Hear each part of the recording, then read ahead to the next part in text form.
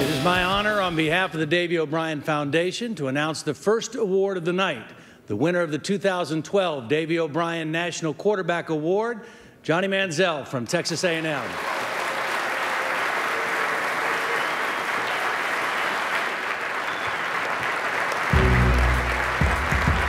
Johnny Manziel is the first freshman ever to receive the Davey O'Brien Award and the first winner from Texas A&M.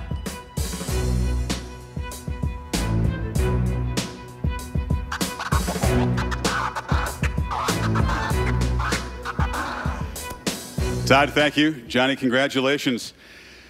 So about a year ago, you're on the scout team playing wide receiver for a coaching staff that's on the way out. A year later, Aggies got 10 wins, you've broken records, you win the Davey O'Brien Award.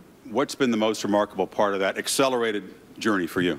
Uh, it's just been a, it's been a long road uh, for all of us with uh, with Coach Sumlin, the new coaching staff coming in, having to completely uh, regroup and, and, and start over. It felt like, um, and what a great job they've done, Coach Sumlin, Coach Kingsbury, everybody there, and, and the way that our team's adapted to the whole new coaching staff coming in. Uh, with, without all those guys, I wouldn't be standing here accepting this award. So I love them with all my heart. I know you do. A couple years ago, Cam Newton accepted this award. You were number two be, because of him. You broke his total yards record this year. I know when you went to a, quarterback camp, you studied his tapes, every drill. Is it seem surreal to be in this position where he stood a couple years later? Absolutely. It's the best way to describe this whole process I'm going through right now.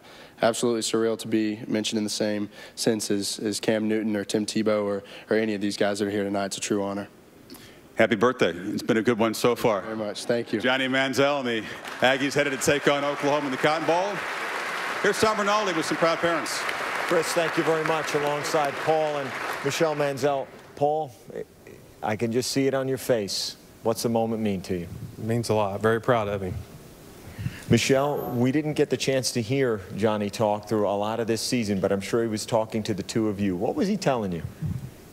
just how exciting everything was and just it was overwhelming. I mean everything's just every weekend it just kept getting better and better and we were just so proud of him. And i knew he could talk.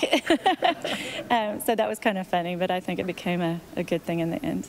And he certainly handled that with a plum as well. It has been a very unpredictable year in college football. Certainly nobody could have seen uh, the crop of players who were here awaiting their awards and little else in this college football season of unpredictability